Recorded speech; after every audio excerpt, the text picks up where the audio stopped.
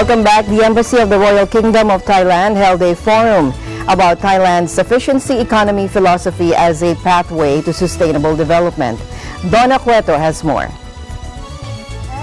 The Embassy of the Royal Kingdom of Thailand, in cooperation with the Asian Institute of Management, on June 9 held a forum about Thailand's sufficiency economy philosophy as a pathway to sustainable development. The event was held to commemorate the 70th anniversary celebration of His Majesty King Bhumibol Adulyadej's accession to the throne. Uh, today, on the 9th of uh, June, uh, it is the 70th anniversary of uh, His Majesty King Bhumibol Adulyadej accession to the throne 70 years ago. So uh, the Embassy of Thailand in Manila organize uh, this activity with AIM in order to uh, get audience to empower them how to proceed on agriculture, especially with the philosophy of uh, His Majesty the King, which is uh, sufficiency economy. So I believe that uh, for this event, the audience and government sectors uh, will learn more how to proceed uh, for sufficiency economy, especially when the new president of the Philippines will come into power on the 30th of uh, June. The sufficiency economy philosophy was put in place in Thailand by the king, uplifting the agriculture there. The Thai people also became more empowered as a result, making them more self-reliant in agriculture.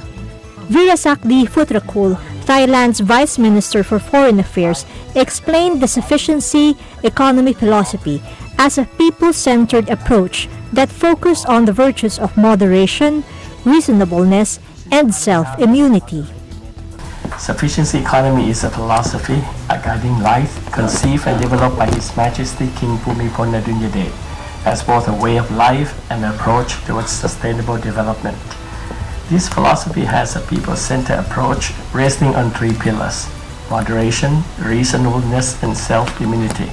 Minister Futrakul explained how this philosophy has uplifted the livelihood of the common farmer in Thailand and had even drastically reduced the poverty rate of Thailand from 60% in 1990 to a mere 10% in 2014. And uh, one of the central philosophy of this is people-centered and that uh, it accords with the UN's goal of no one left behind. And that's why um, this uh, philosophy seeks to help the people, uh, especially uh, the farmers who are usually uh, at the bottom rung of the economy. Even though they comprise the largest group in the workforce, two-thirds, nearly 60%, are we able to lift them from poverty?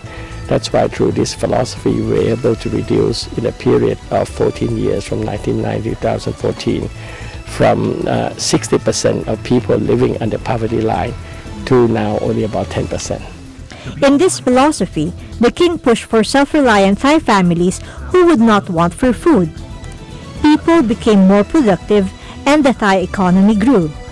Dr. Ernesto Pernia, the incoming head of the National Economic and Development Authority, under the new administration said this sufficiency economy philosophy of Thailand was responsible for pushing Thailand into an agricultural leader, particularly in rice production in the ASEAN region. Uh, Thailand, for example, has, clear, has a clear, distinct comparative advantage in terms of, in terms of agriculture, especially rice.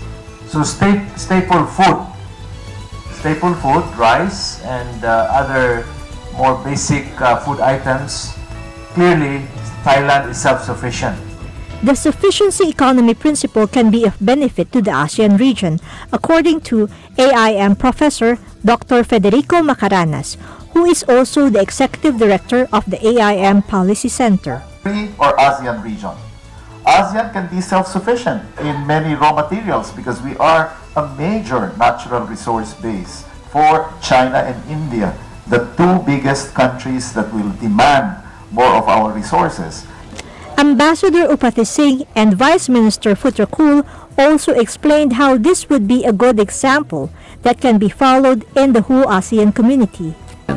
because ASEAN is a big region, uh, 650 million, and we believe that uh, each member, you know, has an advantage, has a comparative advantage on certain things, and we stay together. You know, we do our best, and this is what the region can do. Order to create an attractive economic community, because if we are not able to create such an attractive economic community, we will not be able to draw uh, in for, uh, foreign investment, which would help to generate economic growth. So, uh, but at the same time, if we are all uh, have national resilience, community resilience, we be in better bargaining position vis-a-vis, you know, the, the economic giants. So that's why we think that uh, uh, this philosophy could help ASEAN. The Asian Institute of Management said it was very much honored to have been chosen as a partner in the forum, as the institute itself was very much impressed with this philosophy of the King of Thailand. For Eagle News, I am Donna Cueto and I'm one with 25. Meanwhile, Thailand's ailing King Bhumibol Adulyadej is recovering well after a recent operation to improve blood flow to his heart the palace said the latest in a series of major medical procedures for the 88-year-old king. Bhumibol is the object of an intense personality cult and his frail health is a matter of significant public concern. On Tuesday, doctors performed a series of angioplasty procedures without anesthetic, using balloons and stents to widen multiple arteries in his heart. In the latest update on his health released by the palace late Sunday, doctors said the king was making progress with blood pressure and breathing back to normal. An electrocardiogram also showed improved blood flow to the heart, the statement added. The king is confined to a wheelchair and rarely seen in public. He has spent most of the past two years hospitalized in Bangkok for a series of ailments, including bacterial infections, breathing difficulties, and hydrocephalus or water on the brain. Bhumibol is the world's longest reigning monarch and most Thais have never known life under another king. He is largely seen as a unifying force in a nation bitterly divided along political lines. Anxiety over what will happen after his reign ends is considered an aggravating factor in the country's past decade of tumultuous politics as competing elites jostle for power and influence before the transition. Information on the monarchy is tightly controlled by the palace. Throughout much of the last two years of Bhumibol's hospitalization, updates have been rare. But in recent weeks, the palace has issued a string of health announcements.